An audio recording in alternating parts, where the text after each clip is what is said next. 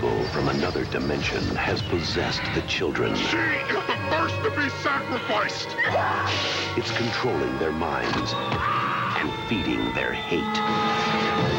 They're home alone, but their parents are never coming back. Based on the story by the master of terror, Stephen King, comes the conclusion.